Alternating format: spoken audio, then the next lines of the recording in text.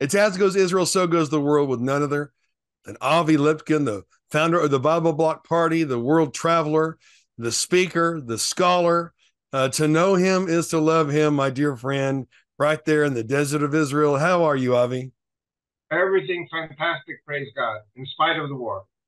In spite of the war. You know, uh, folks, you're going to get more of an accurate uh, accounting of what's happening from the boots on the ground. And uh, of course, the war hasn't stopped. You know, Hamas has has of course bought time, and and uh, this administration has continued to send billions of dollars to uh, to uh, uh, Iran, who funds Hamas, as well as other parts of, of the world that is owned by Hamas, like the UN and some would say the American media. But with all that said, Avi, give us an update of what is happening right now, uh, boots on the ground, so to speak, in Israel. Okay, well, firstly, we are facing a war basically on uh, five fronts. Uh, of course, uh, what you get in the media, if you get anything at all, is usually about uh, Gaza. And uh, the Israeli military, um, uh, because of the horrendous things that Hamas did, it has to be made very clear that Hamas, in spite of President Biden, Hamas has to be totally liquidated. And, um, you know, we have top people from the American military coming and uh, uh, diplomats telling us to be considerate about uh, uh, civilian casualties, which we are.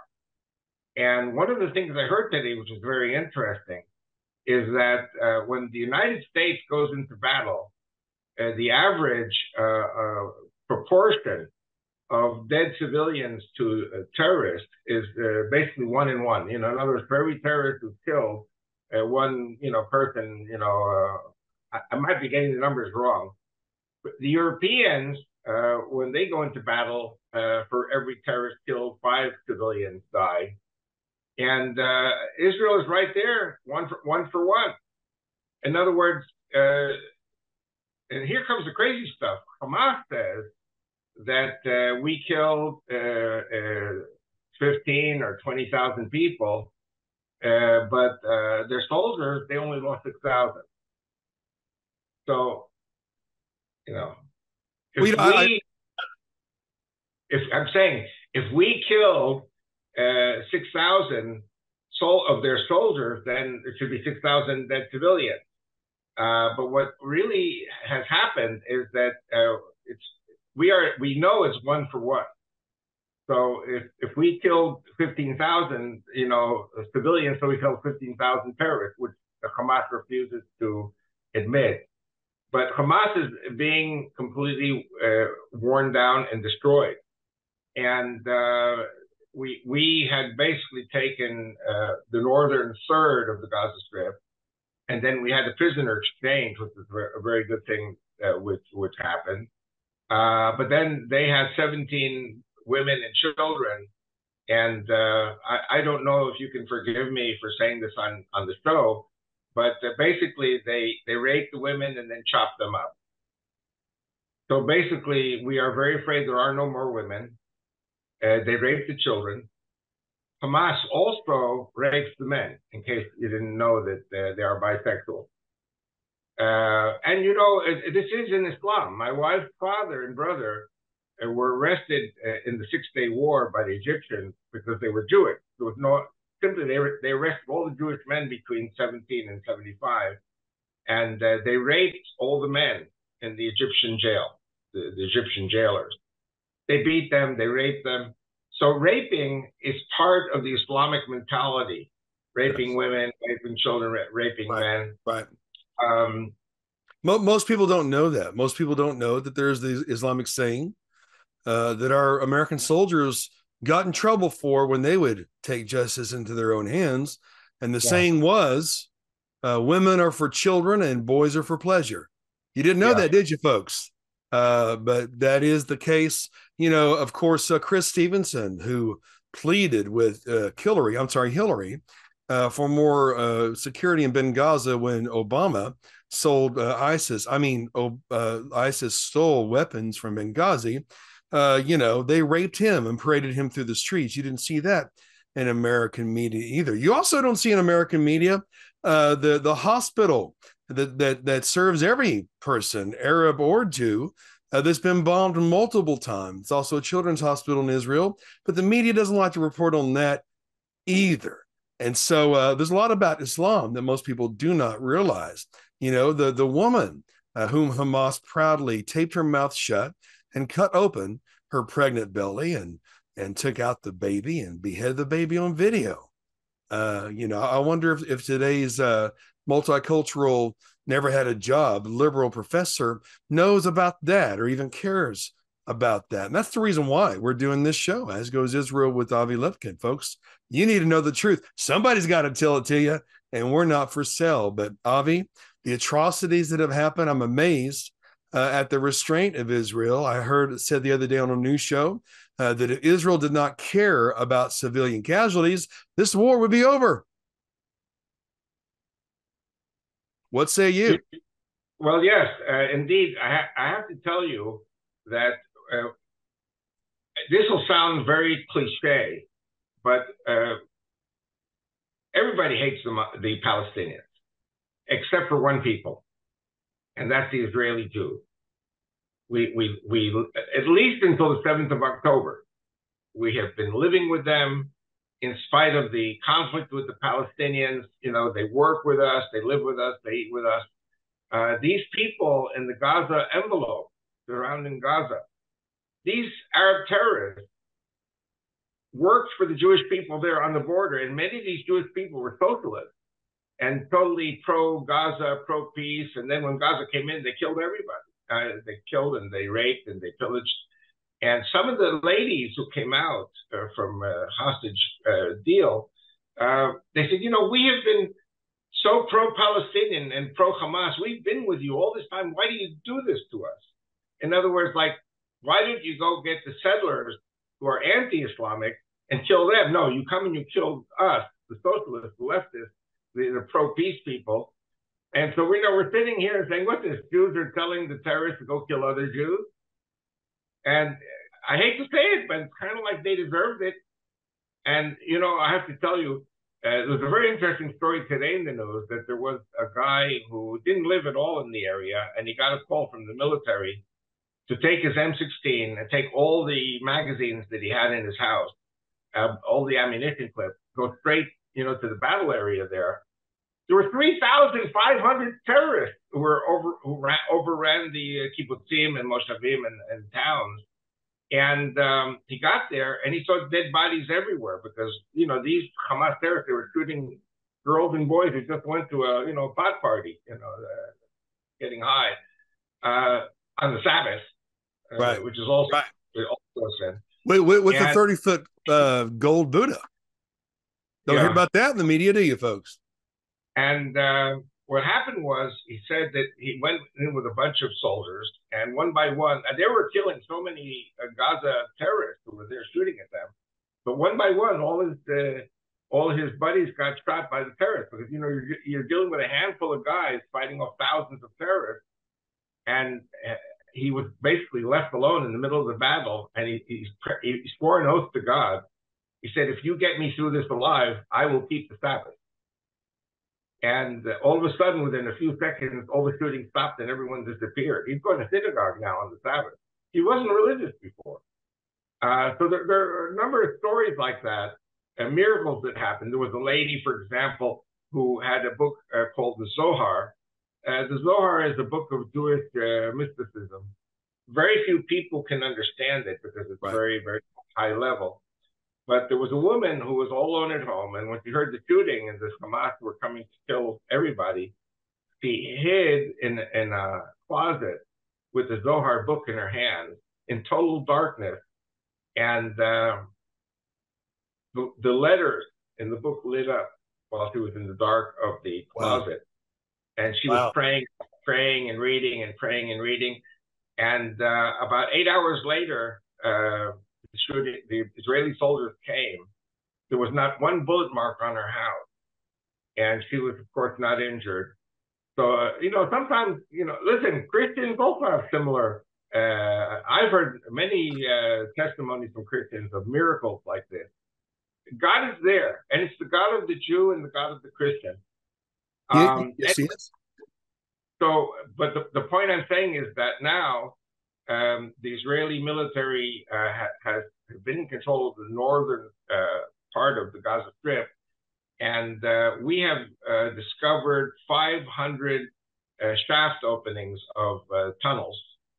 900 and 500 have been taken care of, and we lost soldiers because they booby trapped the, the shaft, the entrances to the to these tunnels. Of course. Um, so we go in with robots and we go in with special dogs. When they smell the dynamite, they immediately pull back, and we know that soldiers should not go in. So they just block off the whole thing. Whoever inside that tunnel uh, gets, you know, buried there. Um, what has happened in the last two days since they, they since Hamas has broken its promise to release 17 women and children. Well, personally, I don't think they're alive anymore because they said whatever they had, they gave us. They kill everybody, the Hamas. Um, and um, uh, now the Israeli military, the last two days, have been uh, in the center of Gaza and the south of Gaza. So basically, you know, the Israeli military and the government are saying this is going to take many months. It will take many mo- months to uh, uh, to purge the tunnels of these terrorists. But uh, I personally think that this uh, part of the war will be over within two weeks. Now, when it, when that's over, uh, we have 100,000 uh, Israelis from the north of Israel who have been, you know, removed from their homes by the Israeli military and taken to hotels in the Dead Sea and Eilat. And they said, we're not going back there until Hezbollah is gone. You know, we had a complete idiot, idiot for prime minister in 1999. He was the former chief of staff, Ehud Barak. And he chopped the army uh, into pieces and said, oh, we want a small army, which is smart, smart but small army. And well, you know who he, who he worked for. and yes, anyways, uh, also he was a, regular visitor at, at, Jeffrey Epstein's island. Of course. Yeah. Anyway, I, uh, I, anyway, I, I, don't I don't want to sully your show. Uh, but, no, no, no. Uh, you, you're the, this show was created for you, my friend. Speak freely. Yeah. Uh, anyway, so uh, what what happened was uh, we had an, a, a, mini, mini army in the south of Lebanon, which is Christian, primarily Christian, South Lebanese army. And uh, one day in 2000, you know, Ehud Barak says, "Okay, we're out," and the, the Christians were left holding the bag, and so the Christians dropped everything and fled to the border, left their cars on the Lebanese side of the border, and came across um, many of them afterwards left Israel. I think there are only like 3,000 left of the uh, South Lebanese army. If they had stayed in Lebanon, they would have been killed by Hezbollah. And Hezbollah came all the way up to the border fence. And so now we have to go to war again with Hezbollah because this crazy Ehud Barak withdrew from Lebanon. And Ehud Barak has some more surprises. He's working on a coup d'etat to overthrow Netanyahu. And I think if we're talking about philosophy here, I think what we're seeing is that the, the God in heaven knew about the coup d'etat. And uh, God will forgive me for saying this, but the war on September, uh, uh, on October 7th was actually a miracle because we were about to have a civil war in which Jew would be killing Jew, but socialists were going to overthrow Netanyahu, where the Netanyahu supporters, including myself, are the majority. And uh, the socialists uh, are, are, have been planning this all along to try to overthrow the government. It started with the uh, judicial reform.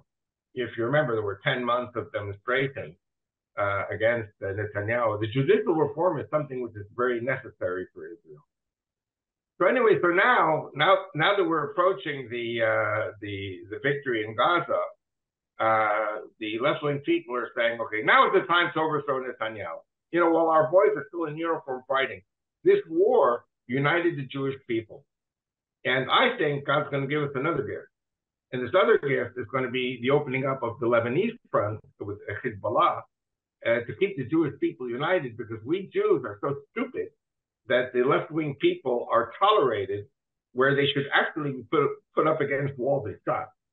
Because these people want to destroy the will of the majority of the Jewish people, which is a strong Israel, a strong army, a strong government, judicial reform, get all the communists, all the socialists out of the out of the woodwork because these people control everything to this day. Likud is in power, but the people who control are the socialists and the uh, atheists and the anti-God people. This whole uh, tragedy on September, uh, on I think September, on October seventh, right. um, was a, a travesty, uh, with, which I believe it was the punishment from God for the 1,200, 1,300 people were murdered at this uh, uh, pot party. You know, there was a, a drug party, a, an alcohol party, a totally total immorality taking place on the Sabbath. And uh, you know, I'm not a very religious Jew, but I would never ever allow my children if they say, "Oh, we're going to go to this party," you know, we're all going to get high on drugs and everything. You're not going. You're, I'm locking out the door. You're not going out.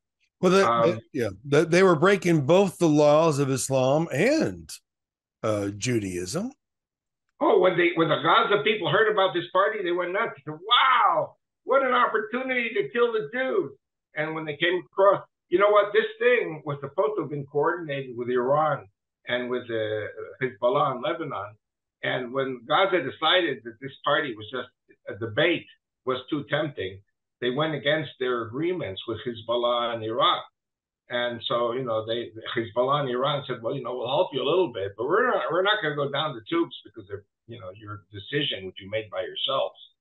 And so now Hamas is uh, paying the price. Praise God. And I don't know what's going to happen with the Gaza people because you know 70 or 80 percent of the Gaza people support Hamas. Uh, and probably what we need to do is, uh, if you remember your history, which I'm sure you do, uh, just as with the people of Germany in 1945, look at the German people today. The German people today are, are, are cult- they were always cultured, but the point is that the military occupation and the rewriting of the textbook by the Allies helped to reorganize the, the mentality of the young people. If you remember, those who had gone to Hitler Youth were like Hamas. These are like kids who go to Hamas. They're crazy. And uh, so I think we have to uh, do the same thing with Gaza. I am not saying to kill 2 million Gazans. I'm saying to uh, redo the educational process, redo the whole system, uh, hopefully with the help of the US and other Western powers. And probably, and this is where I get into trouble because I say the mosques have to be shut down. The, the, the, the leaders in the mosques who have been preaching kill the Jews must be all put in jail.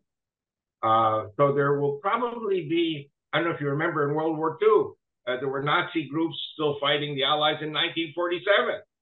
And so there will be continued problems with these Gaza. Muslims.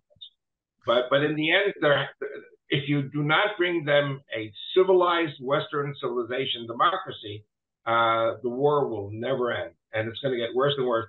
And you know, I have to tell you something. I don't know, again, if it was in your news or not, but uh, now the Houthis, you know, the Shiite Muslims in Yemen, they attacked three ships today. And they also attacked the U.S. Uh, military, you know, the USS Carney. And uh, an Israeli Navy ship just joined the American ship. They're there. And it's kind of like, I think something's going to happen with, uh, with the Houthis in Yemen. Uh, because what they're doing is they're threatening international shipping. And uh, one of the ships was hit by a uh, missile, and they had to dump overboard a few hundred containers because the ship was uh. Uh, the ship, if the ship had sunk, 900 containers would have been lost. I mean, this is a, a threat to the whole. I know you hate the word globalist system, but this would have been a threat to oh, international. Oh, well, you you and I are in agreement. Uh, yeah. You know, uh, there is a globalist system. There are those who I believe as of a few days ago, they want to reduce uh, cattle by 80% because of cow gas. Uh, yeah. But of course, they'll still eat their beef Wellington and filet mignon uh, while, while we are supposed to eat bugs. And it, it, happens as long as people turn a blind eye, as long as they're willfully stupid. You know, yeah. it, it's, it, it's the same thing. You know, the, uh, the ones that were massacred on October 7th horrible tragedy, but they were mocking the Sabbath. They were mocking Sukkot. They were mocking the faith of their fathers. And look what happened. By the way, I wanted to add, I wanted to add some very, very good Jews who were not mocking the Sabbath, but these were soldiers who died fighting to, to save these people. So good innocent people also died in the fighting on October 7th because of the sins of these uh, party goers. Right. Oh yeah, collateral damage. You know, you know the the the Marine Corps, the Navy was partially founded because of uh, you know the the pirates and uh, the Muslim pirates. People don't understand that. You know, this has been a problem for a long time. Uh, there are still black slaves in chains right now in most Muslim countries, but that's not a convenient truth because those who propagate a race war in America are funded by those who still have black slaves. And it's amazing. You know, uh, Avi, I, I concluded a, a news show that reached 31 million people, but it became depressing because people don't care. But we care, and people like us care. But if you feed a jackal, he'll only eat more. And if you try to appease a jackal, he'll eat you last. You know, uh, uh, I think it was Winston Churchill who said that a, an appeaser is someone who who uh, ho- hopes a cro- crocodile, what feeds a crocodile and hopes it eats him last. You know, what wisdom. Uh, war is a very profitable uh, endeavor. You know, there's actually something called the House of Krupp that you can invest in now for war. War is profitable, and innocent lives are are are, are uh, wasted. You know, but here we are with an ideology. It always it always amuses me, not the tragedies, but movies. We're fighting an ideology we can't understand. Of course, you can understand. Read it in their book.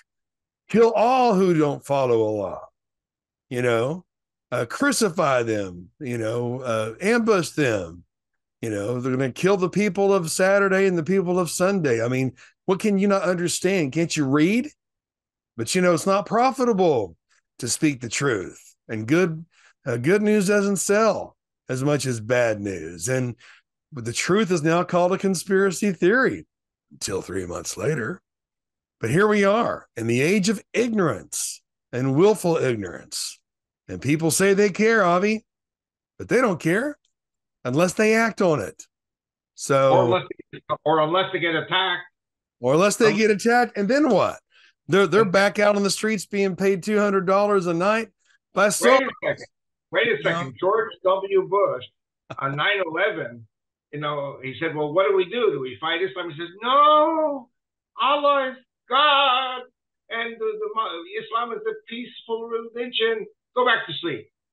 So for three weeks, you had a lot of people going to church. And then after three weeks, everybody was put back to sleep again by George W. Bush. Why? George W. Bush was in the hands of the oil people. Well, of course, he's also a globalist, and they had a plan to to uh, you know change the regime of six countries, including Iran. That didn't happen. Kind of wish that it did, but here we are. You know, people have no idea what what is the truth. Well, you know, it's like Pontius Pilate said, asked, What is truth? If I could find a man that knew the truth, I'd take him back to Rome with me. And here we are in the new Rome. You know, you mentioned maybe America will help re educate uh, Palestinians. Well, maybe after we re educate our own youth, you know, our universities have become Marxist centers. Uh, the Muslims pay universities very well to have uh, you know, their organizations using the freedom of speech to build caches in their mosque around the country. When I was repeating reporting for Brigitte Gabriel uh, in 2010, they would immediately come here on Saudi money, on Iranian money. They would file for a 501c3 and they would begin renovating houses, building mosques in their neighborhoods. That's what they do, folks. And uh, let me tell you something I don't hate people. Uh, I have one enemy, and uh, he's about nine foot tall, and he uh, he's called the Prince of Darkness. But you know, besides that, people are used by the enemy. They're used as puppets, and money talks. And unfortunately, you know, I, I, I saw a discussion this morning, and and uh, I was producing news that came out of communist China uh, by the persecuted church. A lot of their pastors told them, "Don't worry, don't worry, don't vote, don't worry, Jesus will come back and take you away before it gets bad. Well, I wonder if if the Christians in Ukraine, in China, in Venezuela, right?